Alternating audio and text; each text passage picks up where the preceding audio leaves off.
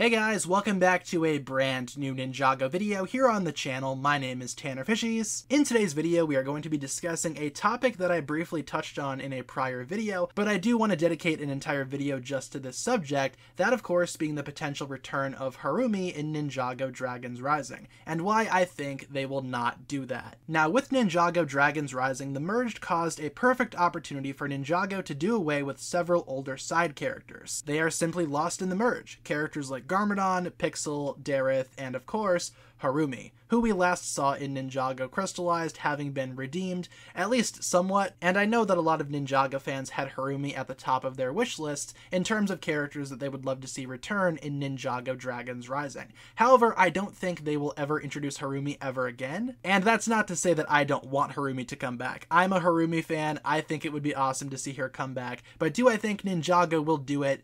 Probably not. And there's one major reason why they probably will not do it, that of course being controversy. Back during Harumi's return, there was controversy galore throughout the Ninjago community. You had people fighting over whether or not it was ethical for Harumi to come back at all, or even more so whether or not it was even okay for Harumi to be redeemed. Depending on who you talk to in the Ninjago community, you will see a very different series of results. Even some folks on the Ninjago staff, like Tommy Andreasen, had some hate thrown their way due to their comments about Harumi. More so, the positive comments and the hopeful comments regarding Lloyd and Harumi's relationship possibly blossoming into something romantic. A lot of Ninjago fans hate that idea for various reasons. I personally feel like some people go a little bit too far in their hatred towards Harumi, but at the end of the day, it is a fictional character, and LEGO sees that as well. They see the controversy, they decide, hey, maybe it's not worth it to bring this character back, maybe it was a mistake to bring this character back in the first place, and maybe we should never include this character in anything ever again. I personally would not like that. I would love to see Harumi come back at some point in Ninjago Dragons Rising, but I feel like LEGO, Ninjago, and everyone else would probably benefit a little bit more if Ninjago reintroduced other side characters first.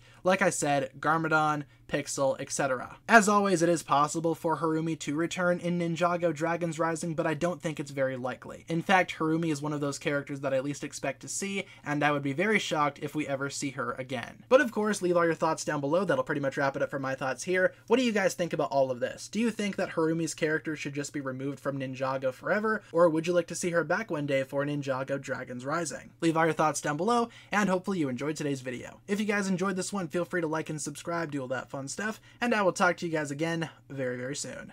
Base.